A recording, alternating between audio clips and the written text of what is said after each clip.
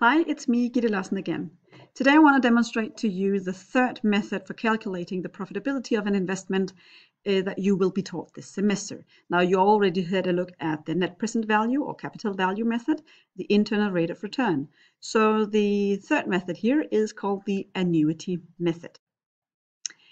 Now, what is an annuity? You might know the term. An annuity is a series of identical payments. So we use this method if our expectations to our future changes in income, demonstrated here in this investment profile that I have used in the previous videos, by looking at these columns, the blue columns here, to be an identical series of payments. Take a look, they are equally high, they are identical. Um, so if we have that scenario, we are going to use the annuity method to calculate um, the profitability of this investment. Now I know that we have this little uh, scrap value over here, destroying our perfect picture of a series of identical payments. So, but we can handle that. Um, Excel will handle that for us in the function that we will use in Excel. But just for, for fun, let me tell you what Excel is doing in practice here. Excel is taking this scrap value, ooh, this scrap value, and discount it back four years in time. So it back to year zero where we did the investment, subtract it from the investment. So we have a net investment. And by that we have an, a, a perfect series of identical payments. So we will of course demonstrate this in Excel. So what do we do when using the annuity method? What we do is we convert this net investment into a series of identical payments and then we compare it to the net payments. So what is this identical series of payment that we convert the investment into? That is called the capital service costs. Now the capital service costs are the average cost for interests and depreciation associated with the investment. Back when I was being taught this method, I told myself that I could compare this, that if this investment would in fact have been a loan, and I would have to pay it back over the lifetime, the four years in our investment profile here, what would be my term? What would be the payment that I had to do the installment here over the four years if I would um, use that method?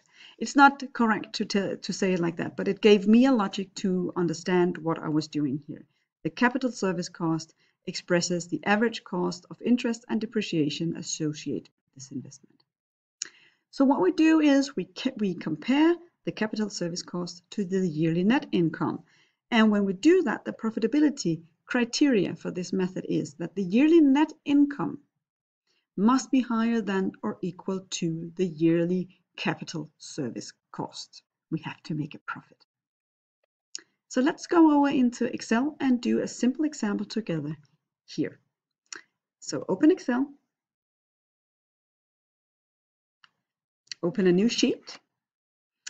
I have set this example in a little different way than I usually do. And I do that just to demonstrate that you can, this changes in, in income can be done in different ways, okay? So, but you always need these variables. So we need the investment sum. In this case,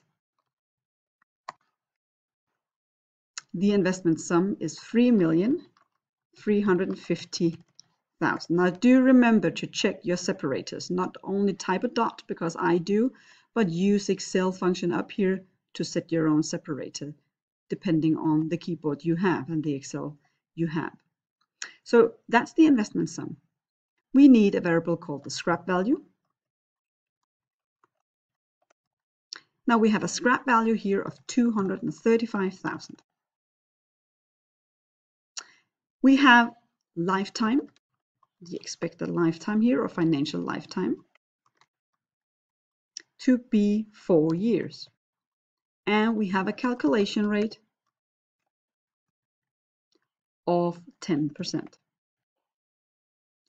So now we need to find the last variable that we need to calculate here, and that is the change in income. So I'll set it up in a little different way. So in this case, I am starting with the expected change in my uh, contribution.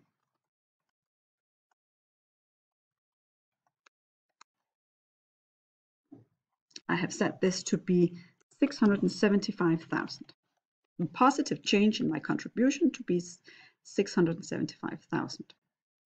I actually also expect by, by buying this machine, I can actually let one employee go and save some salary. So I have some salary savings here. Salary, I'm saving some cost for salary for one person. And I have set the salary of this employee to be 195,000. Now the machine needs a service every year. And this service, this maintenance, eh, maintain. I have set to cost 35,500. I set this number as a negative number because it's a costs. So my change in income, my payments change in income here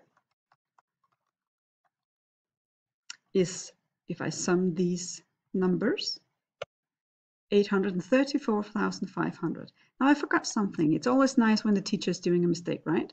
Remember, I taught you the last time we met, always set the investment sum as a negative number. Just on a short note. Okay.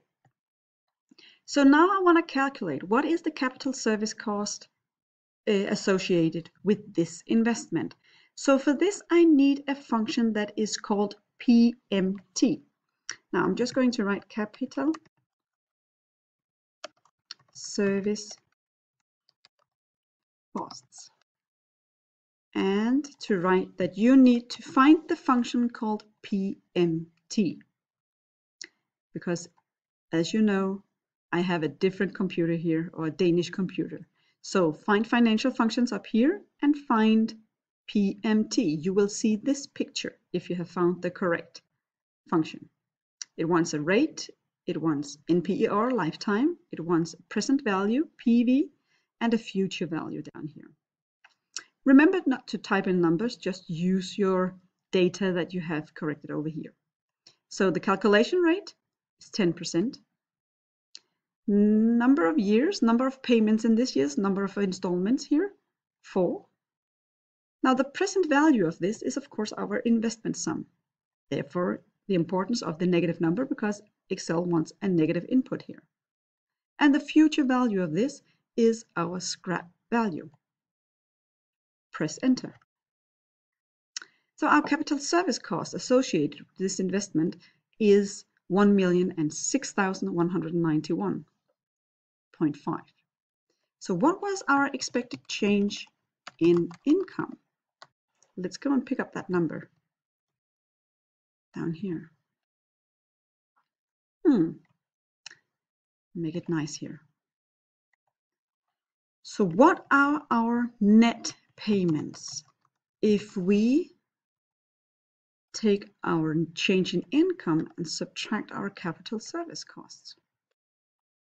It is a negative number, 171,691.5. So in this case, we have a non-profitable. It is not profitable, this investment, if the company does not believe that they can actually make a, a, a further change in the net income, the change in income of 171,000 kronas in this case. So that is some of the things that the company needs to consider. Do they believe that the that this investment could add an, a further 171,000 uh, to become profitable? or do they have to take a critical look at some of their assumptions over here, etc., uh, etc. So that was the annuity method, and we will elaborate when we meet in class. Um, try to see if you can do the example uh, in Excel and see if you can recreate the numbers, and then when we meet in class, ask some questions, and we will of course do assignments together.